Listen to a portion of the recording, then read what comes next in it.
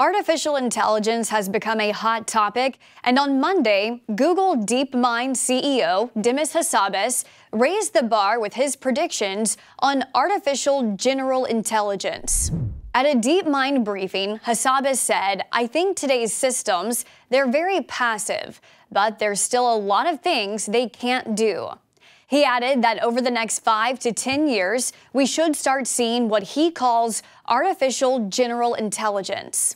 He defines artificial general intelligence as a system that's able to do all of the things a human can. The next level, artificial superintelligence, is expected to arrive after AGI.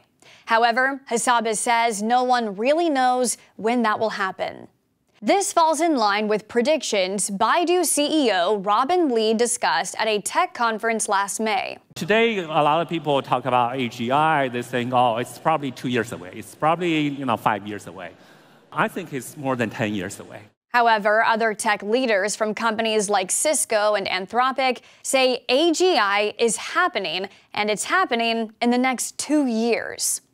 Whether two years or 10 years, it's enough to bring world leaders together for a major summit in Paris back in February. World leaders, executives, and experts attempted to hammer out agreements on guiding the development of the rapidly advancing technology. Scientists heeded warnings.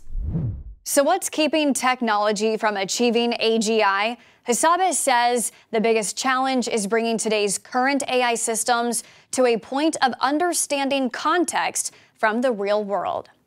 For Straight Arrow News, I'm Kara Rucker. For more stories that matter to you, download the Straight Arrow News mobile app or visit us online at san.com.